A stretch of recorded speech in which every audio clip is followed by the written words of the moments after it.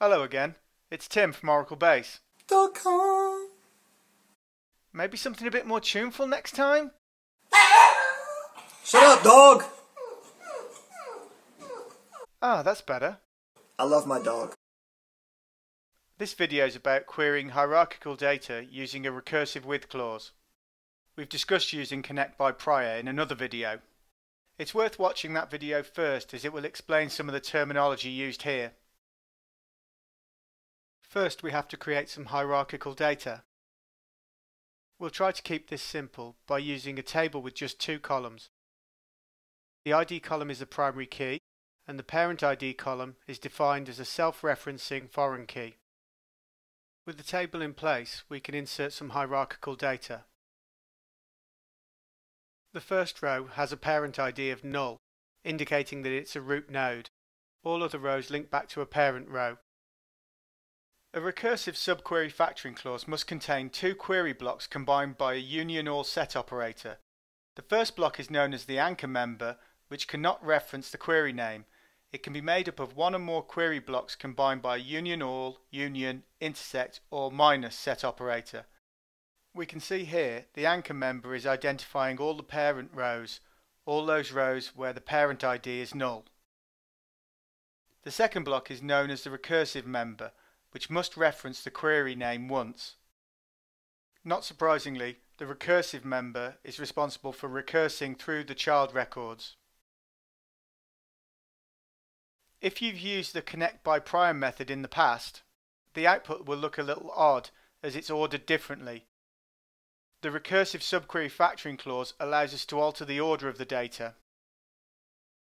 The order the rows are processed in is determined by the search clause, which has two methods.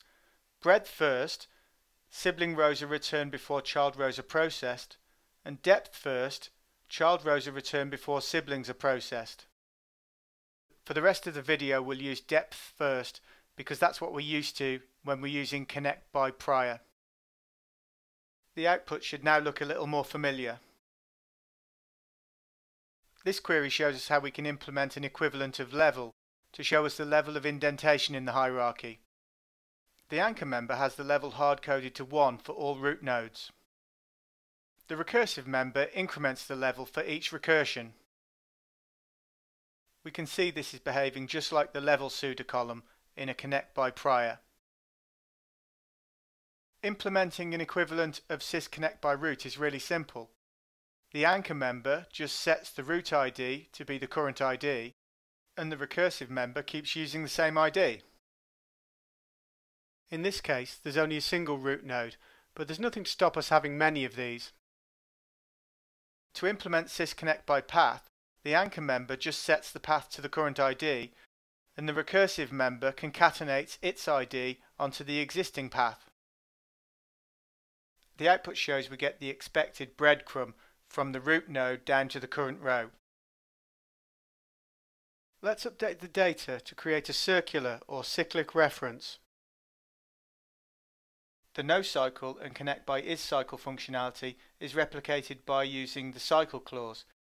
By specifying this clause, the cycle is detected and the recursion stops, with the cycle column set to the specified value. Unlike connect by prior, this goes one row into the cycle before stopping. Thanks for watching. Be sure to check out the links in the description box and subscribe to the channel and like the video if you liked it.